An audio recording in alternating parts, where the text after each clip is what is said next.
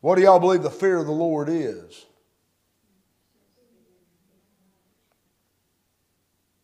Didn't God just talk about those who tremble at His word? I believe that's the beginning. I don't believe man is going to give the time and attention necessary to learn that book until that fear of the Lord is real. You say, but I'm not going, God hasn't given us a spirit of fear. Paul's talking about the spirit of the fear of this world. He told you to work out your own salvation in fear and trembling. Didn't he? Knowing the terror of the Lord, we persuade who? Men. I tell you what people in America need and what Christians in the world need today. They need to get off Facebook trying to win debates and fear God and read His Word. Yes, amen. It's the beginning. But here, fools despise wisdom and instruction. You know who don't fear God? Fools. Mm-hmm. Amen. Now, now look at what Solomon says there in 1 2. You know why those proverbs were written? They were written to know wisdom and instruction. Do you know, you know one of the first things you're going to have to do in this study process? Number one, you're going to have to have a fear of the Lord. That's the beginning. Number two, you're going to have to know. That means you're going to have to become acquainted with the book. To know wisdom and instruction, Solomon wrote these things for somebody to know something. Not necessarily to understand it, that comes later. You have to become acquainted with the book. I should, uh, you, you know, if I say Habakkuk, you should know where it's at. If I say Zephaniah, you should know where it's at. Nahum. You should not only know where they're at, you should, listen, you should know what kings they prophesied during. Okay. Oh, I don't know, preacher. That book ain't important enough to you. You think I got a problem with it? Amos prophesied in the days of Uzziah, king of Judah, Jeroboam, Jeroboam, king of Israel, two years before the earthquake.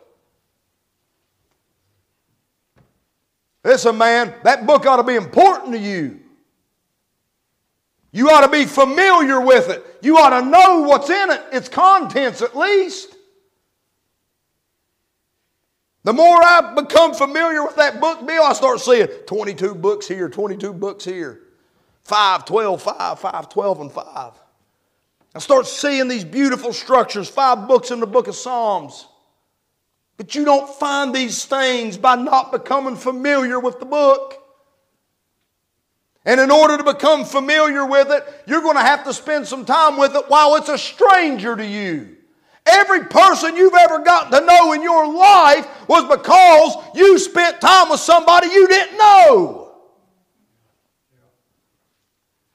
That book's no different. You're going to have to spend hours with it where it's like a stranger to you. Just keep reading, just keep reading, just keep reading. Then you know what's going to happen? Second step is you're going to perceive the words of understanding. As you become familiar with it and begin to know it, then you're going to begin to perceive it. You know the beautiful thing about perceiving that book? Is as, you as your perception is developed, that perception is giving you the receiving of the instruction of wisdom, judgment, justice, and equity. And it's giving you something. It's giving subtlety to the simple. You know what subtlety is? It's skill, it's craft. Is that not what we're talking about as a skilled workman? But in order to become that skilled worker, you've got to go through a process of knowing, perceiving, receiving some things. Somebody gets saved today and they learn a Bible verse, next thing you know, they're teaching Sunday school. None of this even matters anymore. Before you know it, you got 15 preachers. One of them saying you can lose your salvation. One of them saying you can't. One of them saying you got to be baptized to go to heaven. One of them saying you don't have to be, but you got to be baptized to join a church. Because you don't have people that take this serious anymore. The book of Proverbs, man, you know what Proverbs is? Look at Proverbs chapter 2.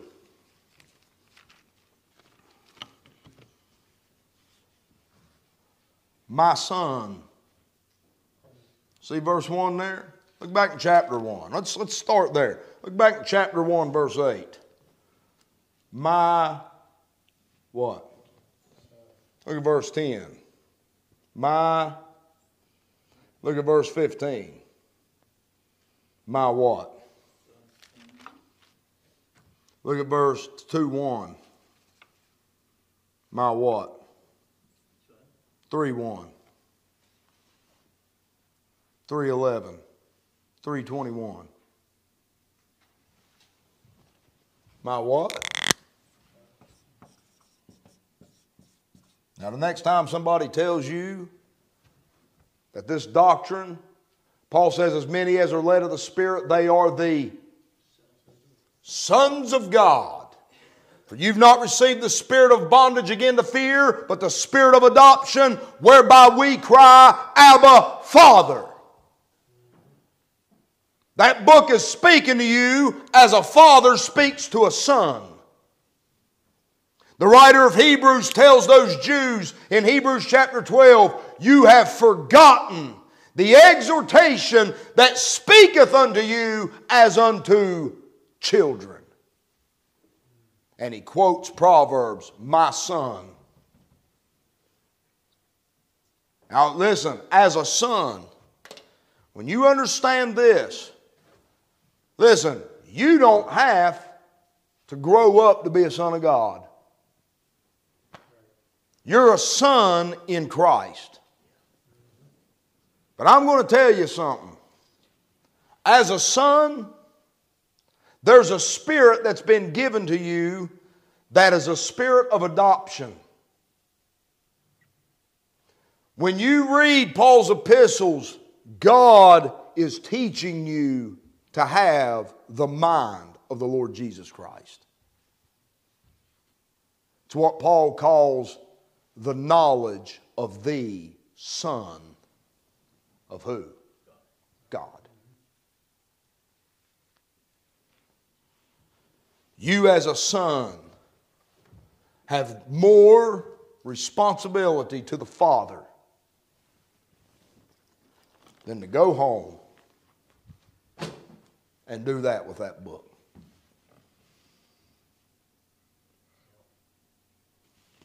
You know what that is? I don't care if you're saved or not, that's a fool. I've been a fool. There's still times that I'm a fool. And I know what, I know what, I'm going to read a couple verses here. Proverbs chapter 2. We are sons. We are sons. And I don't care what anybody else has to say about this issue. Everybody wants to dodge it. All these people out there want to sidetrack it. Well, this person over here don't believe you get the Spirit of God until you're a son.